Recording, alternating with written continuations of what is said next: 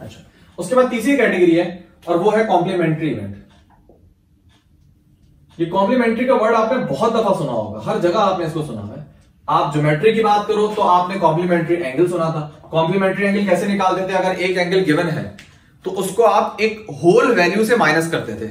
Angle के sense में आप उसको 90 कंसीडर करते थे। कि अगर 30 गिवन है तो 90 को 30 से माइनस करो 60 60 कॉम्प्लीमेंट्री एंगल हो जाएगा। सेट की लैंग्वेज में अगर एक सेट ए गिवन है तो उसका कॉम्प्लीमेंट क्या था? आप उसको होल से माइनस करते थे। यूनियन से माइनस करते थे, अगर आपको याद हो। ए कॉम्प्लीमेंट क्या होता था? यूनियन में से ए को माइनस कर दो। तो जो रिमेनिंग आता था, उसको आप बोलते थे कॉम्प्लीमेंट इसी तरीके से कॉम्बिनेशन में भी आपने भी देखा था कि अगर एट सी टू है तो इसकी कॉम्प्लीमेंट्री कॉम्बिनेशन क्या होगी? एट सी सिक्स कि पहले टू था, आपने एट माइनस टू किया सिक्स तो वो क्या कहलाई जाएगी? कॉम्प्लीमेंट्री कॉम्बिनेशन इसी तरह कॉम्प्लीमेंट्री इवेंट भी होते हैं। कॉम्प्लीमेंट्री इवेंट क्या होते हैं? कि फॉर एग्ज़ाम्पल इवेंट ए है आप ये कंसीडर करो इवेंट है टू आना। सिंपल एक basic event elementary event consider करते हैं कि इवेंट है टू आना। ठीक है? तो इसको फॉर एग्ज़ाम्पल आप बोलते इवेंट ए अब अगर आपने इसका कॉम्प्लीमेंट ये मैं बात कर रहा हूँ, अगर आप डाय को रोल कर रहे हो अब मैं आपसे बोलूँ कि अगर इसका कॉम्प्लीमेंट्री इवेंट निकालो तो इसका कॉम्प्लीमेंट्री इवेंट ये होगा सिंपल लैंग्वेज में, कि ये इवेंट परफॉर्म ना हो। अब ये इवेंट परफॉर्म किन किन आउटकम में नहीं हो रहा? आपके पास वन आ जाए, आपके पास थ्री आ जाए, आपके पास फोर आ जाए फाइव आ जाए सिक्स आ जाए। इसमें से कुछ भी आ जाए तो ये इवेंट ए जो है वो परफॉर्म नहीं होगा। तो कॉम्प्लीमेंट्री बेसिकली होता है कि वो चीज़ ना आए। जैसे आप सेट के अंदर कॉम्प्लीमेंट निकालते थे ए के अंदर जो एलिमेंट थे, वो कॉम्प्लीमेंट में नहीं होते थे ना? उसका मतलब जो ए कॉम्प्लीमेंट है, वो वो है कि जिसमें एक एलिमेंट निकाल दिए आपने सारे। तो यहाँ भी वही काम कर रहे हो। जो इवेंट ए है, उसके अंदर एक आउटकम है टू तो इवेंट ए का जो कॉम्प्लीमेंट्री इवेंट होगा, उसके अंदर वो आउटकम्स होंगे जो ए के अंदर नहीं है। ए के अंदर क्या नहीं है? One three four five six simple language में एक इवेंट होता है, ये चीज़ हो। इसका कॉम्प्लीमेंट्री होगा कि ये चीज़ ना हो। फॉर एग्ज़ाम्पल इवेंट ए है कि बारिश हो। इसका कॉम्प्लीमेंट्री क्या होगा? बारिश ना हो। इवेंट ए है इवन नंबर आए। इसका कॉम्प्लीमेंट्री क्या होगा? ऑड नंबर इवेंट नंबर अगर नहीं आएँगे तो क्या आएँगे? One three five odd number आएँगे। तो कहने का मतलब है कि एक चीज़ अगर हो रही है, इसका कॉम्प्लीमेंट्री होगा कि वो चीज़ ना हो।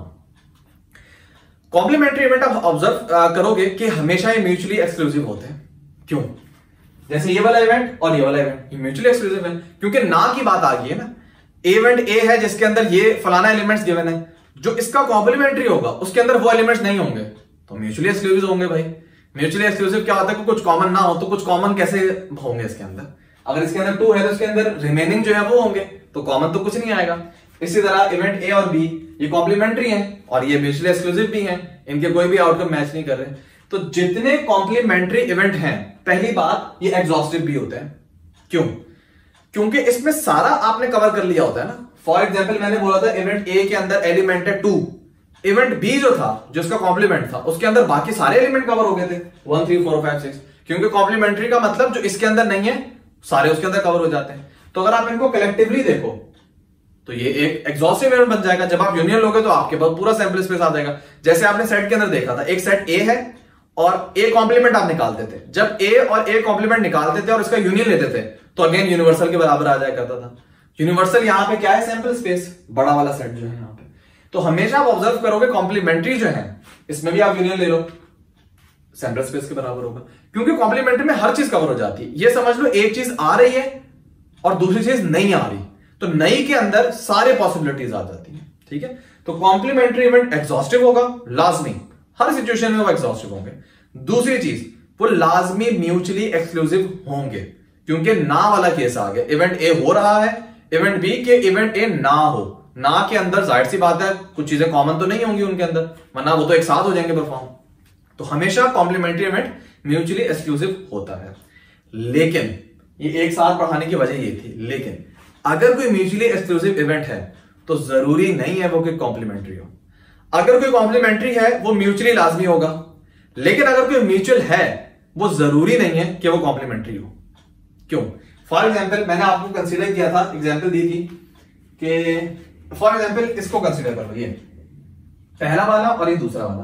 पहले वाले इवेंट के अंदर आउटकम है वन टू दूसरे के अंदर फोर फाइव सिक्स ये म्यूचुअली एक्सक्लूसिव है, लेकिन ये कॉम्प्लीमेंट्री नहीं है। क्यों? कॉम्प्लीमेंट्री होता था कि उस कॉम्प्लीमेंट्री एग्जॉस्टिव होते हैं। फॉर एग्ज़ाम्पल अगर इवेंट है वन टू इसका कॉम्प्लीमेंट्री क्या होगा? Three four five six event A का मतलब वन और टू आ जाए। इसका कॉम्प्लीमेंट्री होगा कि वन और टू ना आए तो वो कैसे हो सकता है? कि थ्री फोर फाइव सिक्स कुछ भी आ जाए। ठीक है? तो ये वन टू का अगर आप कॉम्प्लीमेंट्री निकालोगे तो ये आएगा। थ्री फोर फाइव सिक्स ये कॉम्प्लीमेंट्री होगा।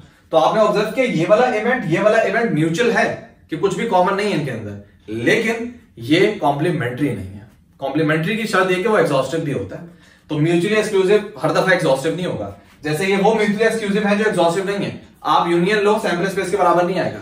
जबकि ये वो म्यूचुअली एक्सक्लूसिव है जिनका यूनियन सैंपल के बराबर है। सैंपल स्पेस के बराबर तो ये ज़रूरी नहीं कि जितने म्यूचुअली एक्सक्लूसिव हैं, वो कॉम्प्लीमेंट्री हो। लेकिन ये ज़रूरी है कि जितने कॉम्प्लीमेंट्री हैं, वो म्यूचुअली एक्सक्लूसिव लाजमी होंगे।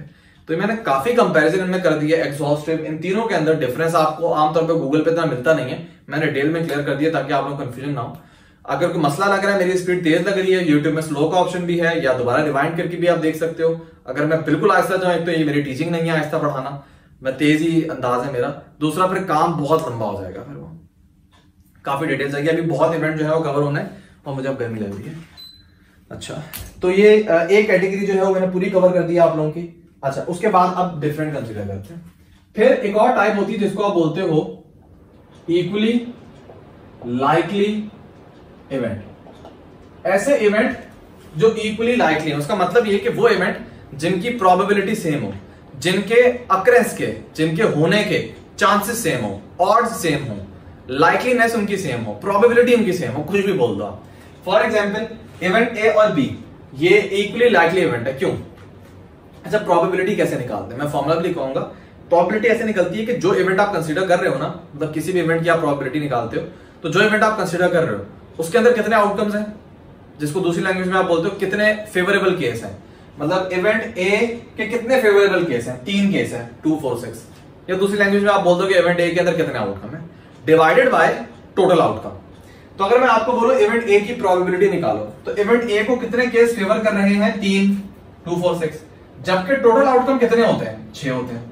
तो प्रोबेबिलिटी क्या है? One upon two zero point five probability इसी तरह आप इसकी प्रोबेबिलिटी निकालो। इसकी प्रोबेबिलिटी भी थ्री अपॉइंट सिक्स आ रही है। तो कहने का मतलब इन दोनों इवेंट के चांसेस सेम हैं। जैसे आप हेड और टेल ये दोनों इक्वली लाइकली इवेंट है। इवेंट ए हेड आना इवेंट बी टेल आना। इक्वली लाइकली है। इवेंट हेड का जो है, इसके भी चांसेस 50 परसेंट है। मतलब वन अपॉइंट टू प्रोबेबिलिटी है। और इवेंट बी की प्रोबेबिलिटी भी वन अपॉइंट टू मतलब 50 परसेंट चांसेस है। तो अब चांसेस 50 परसेंट है। आएगा जो भी, फेंकने से पहले आपको पता है कि चांसेस 50 परसेंट है। अब जो एक्चुअल में आ रहा है, वो अलग बात है। आप बेशक सौ रेटिंग भी ले लो। टेबल बना लो बोलो। आप उसमें बेशक देखो कि हेड ज़्यादा दफ़ा आया है। फॉर एग्ज़ाम्पल ये ये भी सवाल बच्चों का होता है कि सर, हमने हंड्रेड दफ़ा रीडिंग परफॉर्म की है, उसमें हेड साठ दफ़ा है टेल चालीस दफ़ा है। लेकिन अभी भी जब आप 101 दफ़ा परफॉर्म करोगे चांसेस अभी भी सेम है उनके 50 50 है। ये जहन में रखना ना। चांसेस सेम ही रहेंगे उनके। एक्चुअल में क्या परफॉर्म हो रहा है, वो अलग बात है। लेकिन चांसेस उनके सेम ही रहते हैं कि आपने 101 दफ़ा भी जब परफॉर्म कर रहे हो तो चांसेस सेम ही रहेंगे उसके। अगर आपको इसको मजीद क्लैरिफाई करना है ना तो आप फिर जो रीडिंग्स हैं, वो बहुत इनफाइनाइट करो। आप दस हज़ार रीडिंग लो। तब जाके आप ऑब्ज़र्व करोगे कि चांसेस फिफ्टी फिफ्टी है। फॉर एग्ज़ाम्पल आप दस रीडिंग लेते हो। जैसे वर्ल्ड कप में मुझे याद है वर्ल्ड कप के अंदर पाकिस्तान में ख्याल में शुरू के तीन चार टॉस जीत गया था। तो एक दो हारा था। तो प्रोबेबिलिटी तो सेम है इनकी, लेकिन हेड ज़्यादा दफ़ा है टेल कम दफ़ा है। तो आप ही कहोगे, यार एक्चुअल में तो अलग बात है। एक्चुअल में अलग नहीं है। आप रेटिंग ज़्यादा लो। आप रेटिंग जब से पाकिस्तान की टीम बनी है ना, तब से लेके आज तक के टॉस काउंट करो। तो जब इतनी ज़्यादा रेटिंग लोगे ना तो आप खुद समझ जाओगे कि चांसेस ऑलमोस्ट इक्वली होंगे इनके। लेके देख लेना या अगर आप खुद परफॉर्म कर रहे हो, आपके पास सिक्का है तो आप दस हज़ार दफ़ा परफॉर्म करो। दस हज़ार दफ़ा रीडिंग लाओ, तब आप ऑब्ज़र्व करोगे, नहीं यार चांसेस इनके तकरीबन सेम ही है ऑलमोस्ट फिफ्टी फिफ्टी होंगे, आप करके देख लेना आप जब कम रीडिंग लोगे, फिर परफॉर्म करोगे तो गलत बात है ना। फिर मैं फॉर एग्ज़ाम्पल चार दफ़ा में परफॉर्म किया, तीन दफ़ा हेड आगे किस्मत है, आपकी चांसेस होते हैं ना। लेकिन वो चांसेस अगर आप दस दफ़ा करोगे तो मे बी टेल ज़्यादा दफ़ा आ जाए। तो एक्चुअल अगर आपने सही देखना है ना तो आप नंबर ऑफ़ रीडिंग इनफाइनाइट करो। तो फिर आप ऑब्ज़र्व करोगे हाँ यार फिफ्टी फिफ्टी परसेंट चांसेस है। तो इस सवाल का भी मैंने आपको जवाब दे दिया। तो खैर इक्वली लाइकली इवेंट ऐसे होते हैं जिनके चांसेस सेम होते हैं कि यार दोनों की प्रोबेबिलिटी सेम है कि चीज़ हो। ठीक है? अच्छा उसके बाद है अच्छा नॉट उन्होंने बोला कि नॉट की एग्ज़ाम्पल भी दो। मैंने लिखा हुआ था नॉट अगर मतलब इक्वली लाइकली इवेंट अगर कोई ना हो तो वो कौन कौन से फॉर एग्ज़ाम्पल मैं आपको बोलूँ कि टू आना। इवेंट ए क्या है? टू आना। और इवेंट बी हम कर लेते हैं फॉर एग्ज़ाम्पल ऑड नंबर आना। दो इवेंट कंसिडर करते हैं। इवेंट ए है कि जब आप डाई फेंको तो आपके पास टू आए। अब इसका एक ही फेवरेबल केस है कि टू आए। टू किसी और तरीके से तो नहीं आ सकता। तो इसका इवेंट का जो एक ही फेवरेबल केस है one divided by total outcome कितने होते हैं? छह। तो इसकी प्रोबेबिलिटी क्या वन अपॉन सिक्स जबकि इसकी प्रोबेबिलिटी क्या है? थ्री अपॉन सिक्स मतलब वन अपॉन टू इसकी प्रोबेबिलिटी अलग है, इसकी प्रोबेबिलिटी अलग है। तो दैट्स वाई ये इवेंट जो है इक्वली लाइकली इवेंट नहीं होंगे। क्या थोड़ा सोचो ना, आप सेंस बनाती है बात। इस इवेंट के परफॉर्म होने के ज़्यादा चांसेस है, क्योंकि आउटकम वन थ्री फाइव है, जबकि इस इवेंट के परफॉर्म होने के चांसेस कम है। तो ज़ाहिर सी बात है चांसेस सेम नहीं है इनके। तो जब चांसेस सेम नहीं है तो आप ये नहीं बोल सकते कि इक्वली लाइकली इवेंट्स हैं। अच्छा फिर है सर्टन इवेंट ये भी देख लेते हैं। सर्टन इवेंट एक भी हो सकता है।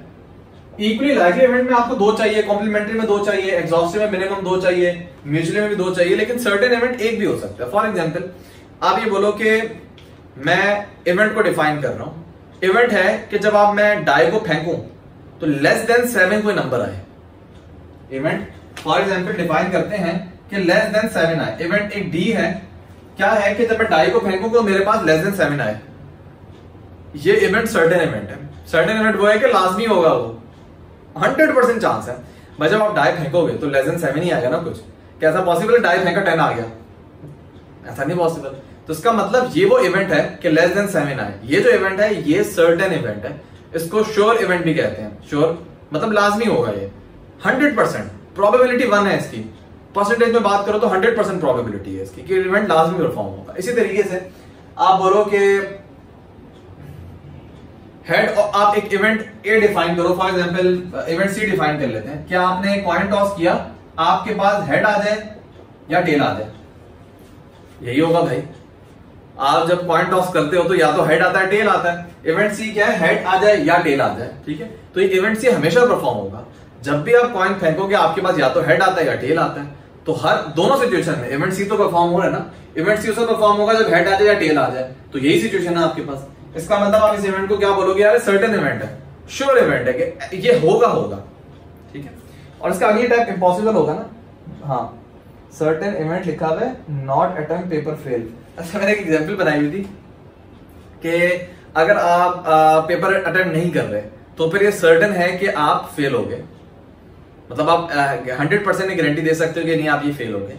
ऐसा पॉसिबल ही नहीं कि इवेंट परफॉर्म ना हो। फेल होने का पेमेंट फेल होने का इवेंट लास्ट भी परफॉर्म होगा अगर आप पेपर नहीं दोगे। ठीक है? तो ये सर्टेन इवेंट आप इसको बोल सकते हो। अच्छा इसके बाद जो कैटेगरी है वो है इम्पॉसिबल इवेंट नाम आपको ये बता रहा है कि इम्पॉसिबल इवेंट का मतलब ये है कि ऐसा इवेंट जो हो ही नहीं सकता।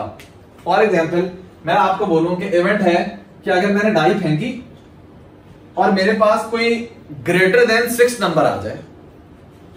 क्या मैंने बात बोली है? ग्रेटर देन सिक्स आ जाए। फॉर एग्ज़ाम्पल एक इवेंट डी है क्या इवेंट है कि डाई फेंको? और आपके पास ग्रेटर देन सिक्स नंबर है। आपको पता है डाई जब फेंकोगे तो ग्रेटर देन सिक्स नंबर नहीं आ सकता। सेवन एट टेन कुछ भी नहीं आ सकता। तो ये ऐसा इवेंट है जो आप बोल सकते हो कि परफॉर्म हो ही नहीं सकता। ज़ीरो चांसेस है। ज़ीरो प्रोबेबिलिटी है इसकी। ये इवेंट हो ही नहीं सकता। ठीक है? कि आपके पास ग्रेटर देन सिक्स नंबर आ जाए। इसी तरह, और कौन से एक्सपेरिमेंट हो सकते मैंने एग्ज़ाम्पल तो और लिखी ना। ये वाले एग्ज़ाम्पल वैसे है तो काफ़ी, लेकिन इम्पॉसिबल इवेंट आप कुछ भी और ले फॉर एग्ज़ाम्पल आप सेब की एग्ज़ाम्पल ले लो। कि यार अगर मैं सेब छोड़ू तो इवेंट क्या है कि ऊपर जाए? ये इवेंट कभी परफॉर्म नहीं हो सकता। सेब को अगर आप छोड़ोगे तो वो नीचे ही जाएगा, ऊपर नहीं जाएगा। तो इसको भी आप क्या बोल सकते हैं? इम्पॉसिबल इवेंट जिसकी प्रोबेबिलिटी ज़ीरो हो, कि इवेंट हो ही नहीं सकता। अच्छा उसके बाद है आइडेंटिकल इवेंट्स आइडेंटिकल का कौन नाम था इक्विवेलेंट था इक्विवेलेंस था? क्या नाम था इसका? इक्विवेलेंट हाँ एक और भी इसका नाम है इक्विवेलेंट इवेंट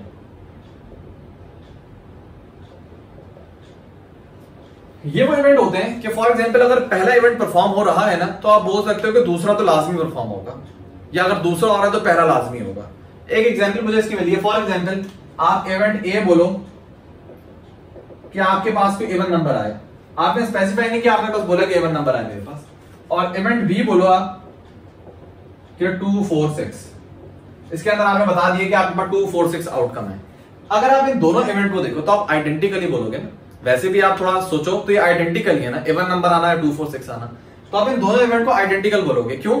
अगर एक इवेंट परफॉर्म हो रहा है तो दूसरा लाजमी होगा। अगर दूसरा हो रहा है तो पहला लाजमी होगा। इफ़ एंड ऑनली इफ़ की कंडीशन है कि अगर पहला इवेंट परफॉर्म हो रहा है इफ़ एंड ऑनली इफ़ की दूसरा हो। मतलब दोनों तरफ़ से बात चल रही हो। कि फॉर एग्ज़ाम्पल आपने डाई फेंका आपके पास इवेंट नंबर आ गया तो पहला इवेंट परफॉर्म हो गया। और अगर पहला इवेंट परफॉर्म हो गया तो आपको पता दूसरा भी परफॉर्म होगा। क्यों? जो इवन नंबर आया है, वो या तो टू होगा, या फोर होगा, या सिक्स होगा तो दूसरा इवेंट भी परफॉर्म हो गया। या अगर आप बोलते हो कि आपने डाई फेंका आपके पास टू आ गया मतलब इवेंट बी परफॉर्म हो गया तो आपको पता अगर बी परफॉर्म हो गया तो ए लाजमी परफॉर्म होगा।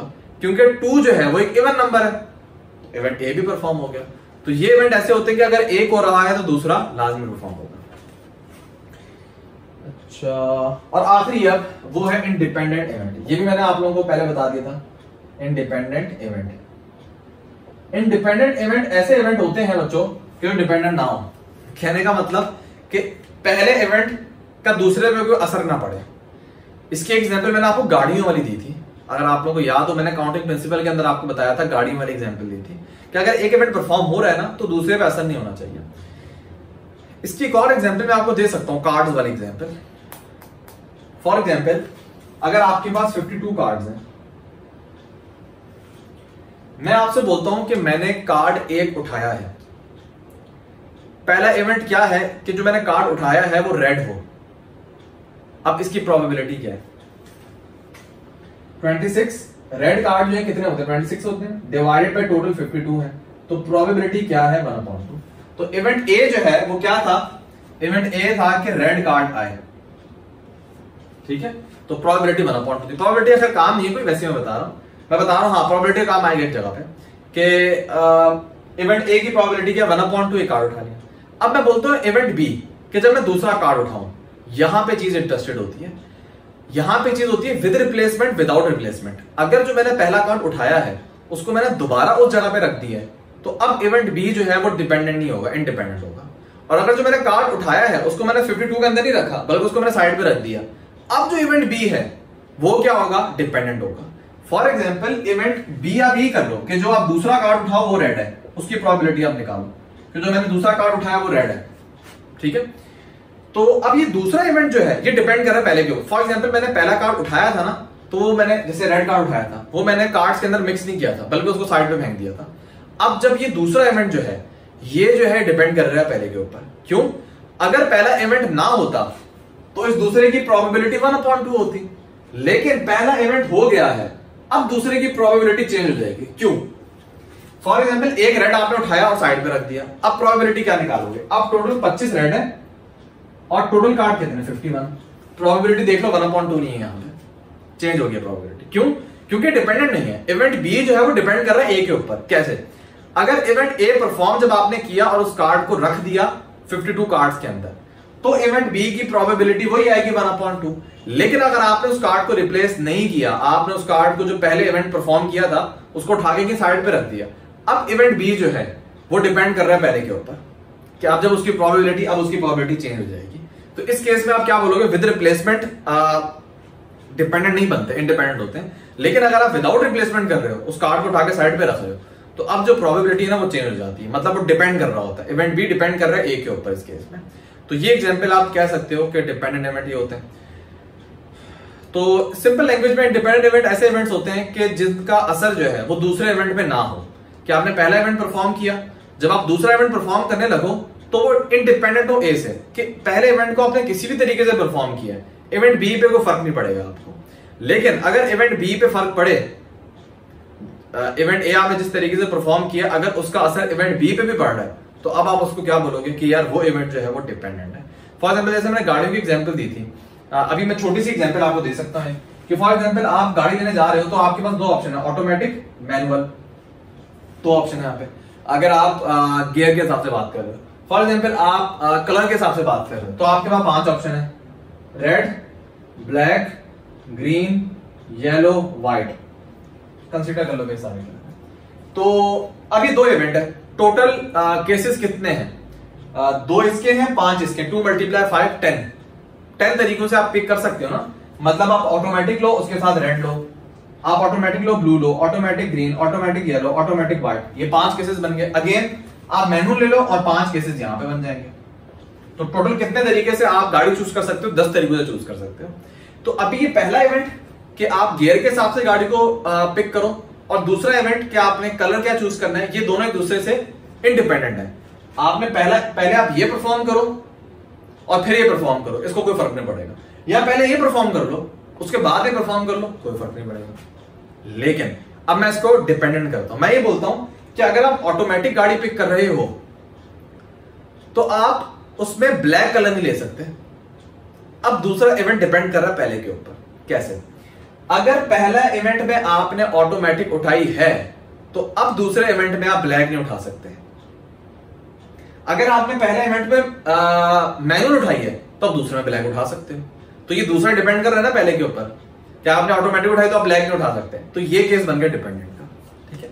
और जो डिपेंडेंट इवेंट्स होते हैं ना, इनकी प्रोबेबिलिटी एक मुश्किल कॉन्सेप्ट है। बुक में शायद नहीं है। कंडीशनल प्रोबेबिलिटी होती है। बुक में आपको नहीं मिलेगी ये।